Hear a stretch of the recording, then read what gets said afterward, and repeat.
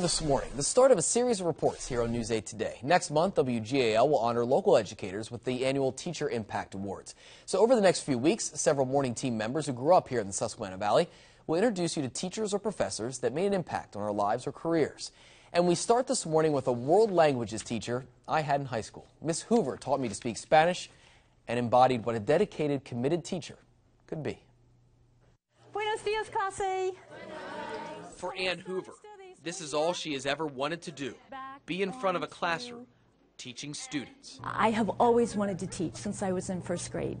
And my whole career is here, so I have been blessed. Miss Hoover has been teaching world languages, mainly Spanish, Es bajo. for more than three decades here at Manheim Central High School in Lancaster County.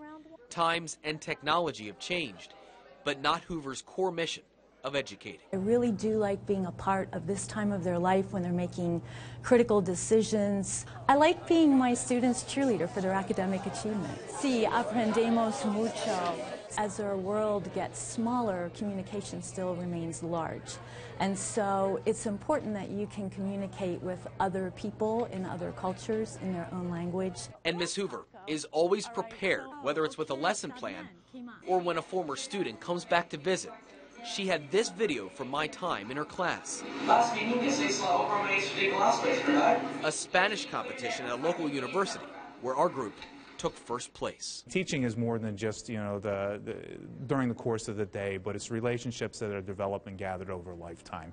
And Ann really fits that mold of, a, of that type of teacher in a, in a great way. That is just really exciting because I've invested my whole everything into teenagers. So seeing them go on and pursue their goals and have their dreams come true is really wonderful.